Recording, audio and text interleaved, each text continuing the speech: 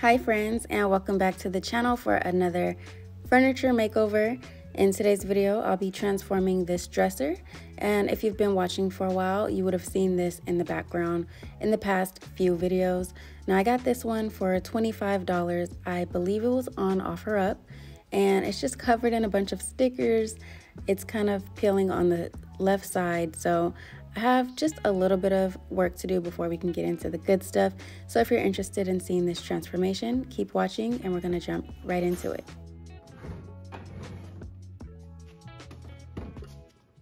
As you guys know, I always start by removing the hardware and then I'm gonna go ahead and move on to the cleaning process.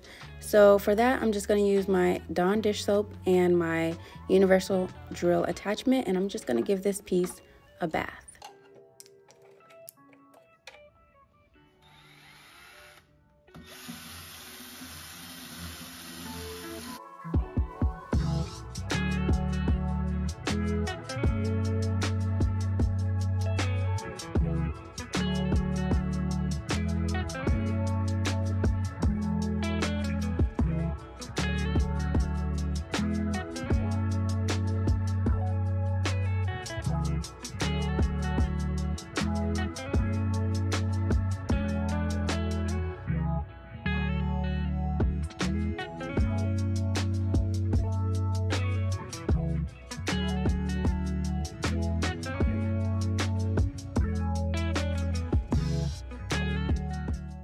So moving right along, I'm using my heat gun and my putty knife and I'm just trying to pry this wooden detail off of the bottom two drawers.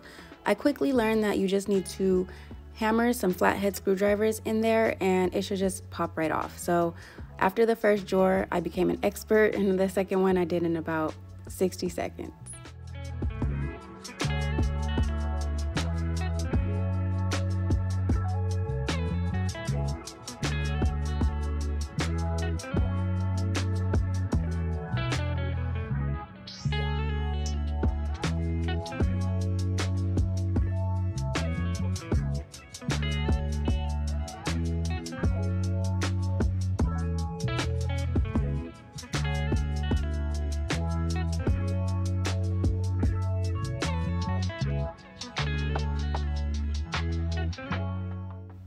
So the last thing that I want to do on this day is go ahead and sand down the top of this dresser. I can tell that the wood is absolutely stunning and I'm going for a two-tone look. So I'm starting with an 80 grit sandpaper, working my way up to a 120 and finishing with a 220 and um, you'll just have to keep watching to see what happens next.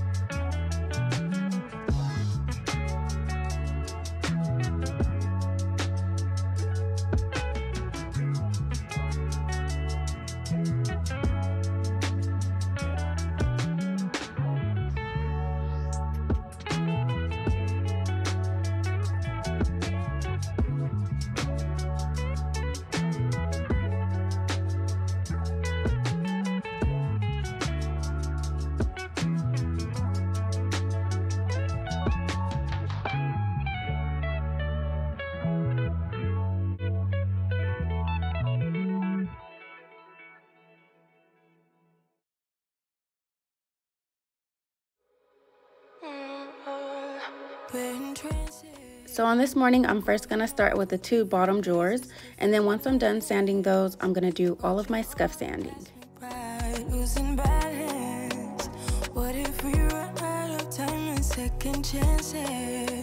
empty handed.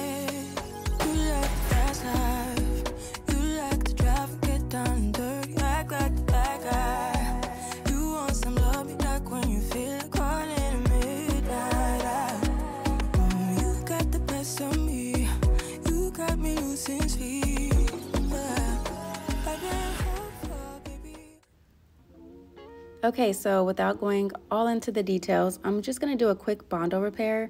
If you're not too familiar with this product, I use it in almost all of my videos, so you can check out any of the other videos for a more in-depth tutorial. But um, yeah, I just did that real quick, and then I go in the house to do the staining process, and this is where things took a left turn, and I'll just catch up with you guys tomorrow.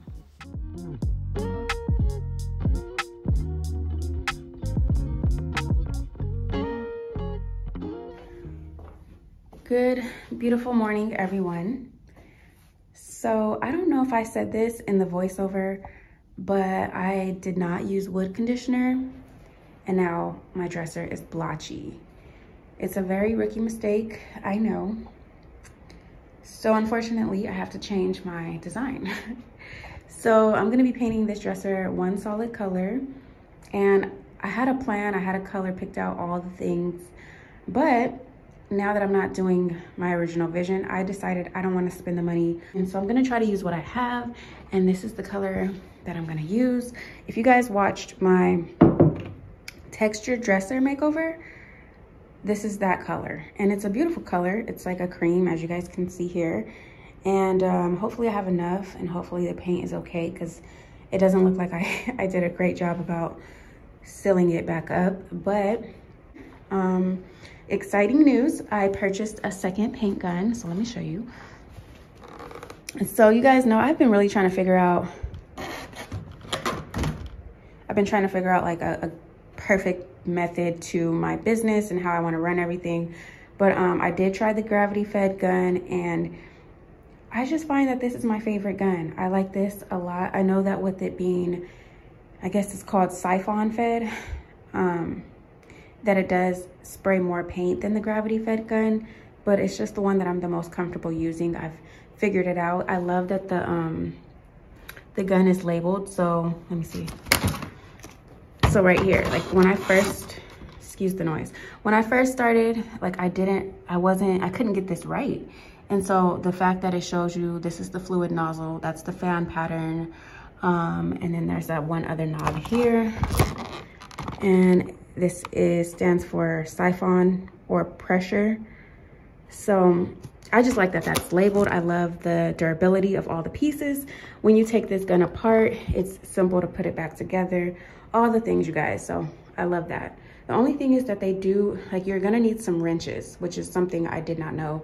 But for this little thing there, and then when you take the cap off, you need a wrench for the one that's under there, all the other stuff, but that's another video for another day. So anyways, my old gun is gonna be my primer gun, and this is my new paint gun.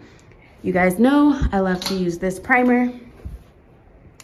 You just gotta make sure you have either like some ammonia or some alcohol or something to clean out the gun because this is not compatible with soap and water. And then for my windows, I did kind of tape them off all the way around so that I could have ventilation. My husband had to remind me of that because I didn't even think about ventilation. Um, so I did do that. So basically I'll pull the curtains up like I've done here and then I'll take this plastic and tuck it to cover off the curtains. So I have all four windows done like that. So I'll lift them up, wrap them around. I know my curtains are a little dirty, but that's not the point. So yeah, so that's the plan. I have four windows. I should have enough ventilation. I did like put the heater on the inside of the plastic. I'm not gonna run the heater while I'm working. The heater is actually closed, the vents closed and all of that. But once I'm done, I'll probably open that up. And yeah, all of the, the walls are plastics. It doesn't look like it, but yeah, there you can see.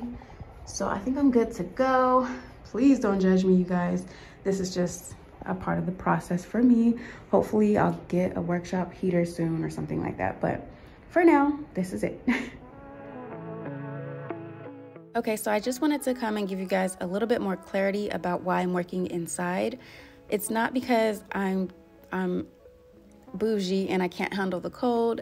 It's just the fact that my paint won't spray correctly in certain temperatures and so that's really what it's about. And last winter, I really had to just put the business on pause, and it was really sad. And I told myself that this year it would be by any means necessary. And I was looking into getting a heater, but I would have had to call an electrician, and it would have just been just an unfeasible for me right now. So I asked my husband if he was okay with this, and he said to go for it. So I appreciate him for his support, and that's why I'm working indoors. So I know it won't always look like this, um, and I'm glad that I have this video here to remind me of how far God is really going to bring me. And I really hope that this encourages some of you watching. I know that the other alternative would be to paint with a brush indoors, but that's just not really my thing. So I'm just grateful that this worked out and it has so many benefits. And I'm gonna share those with you guys in a few clips.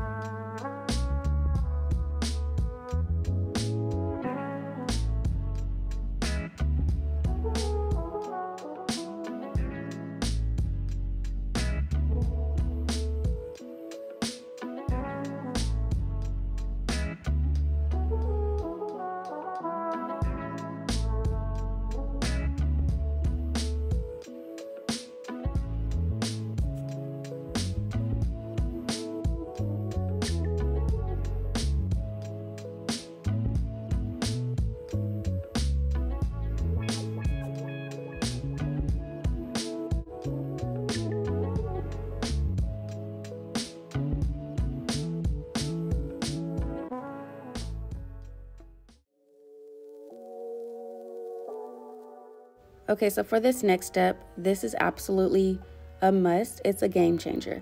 You're gonna wanna sand your piece with a 400 grit sandpaper, and trust me, you have to try this. It takes your work to the next level.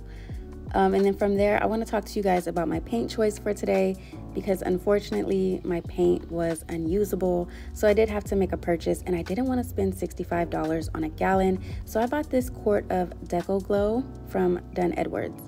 It's known for its exceptional film hardness, scuff, chemical, and block resistance.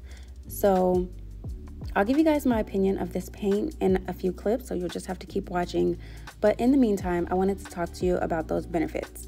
So the benefits of working indoors, one, I did not have any issues with bugs or anything landing in my paint. That was amazing. Um, two, I am nice and cold. I mean, nice and warm. Another thing is that shoes are optional, as you guys may have seen. And last but not least, I get to listen to my worship music as loud as I want.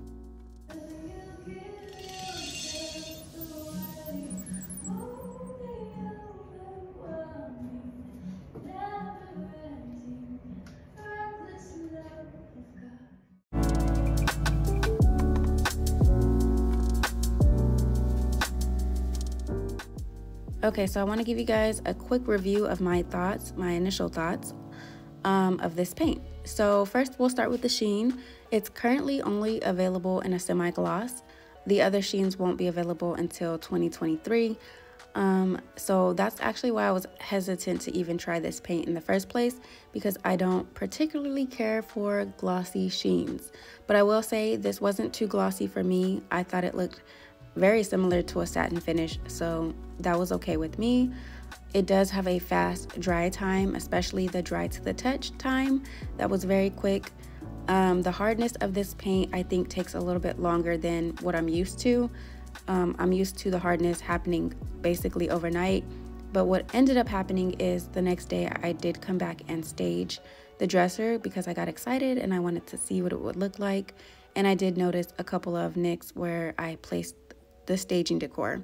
So I was able to touch it up and then from there I did seal the top with a layer of polycrylic.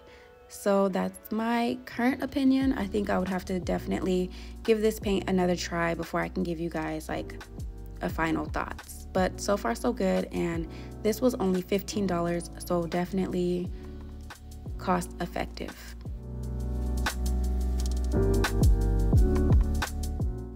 So now that we're getting ready to get into this reveal, all I have to do is add the hardware and the drawer liner, but I wanted to give you guys one last reminder of where this dresser came from and let's get into this reveal.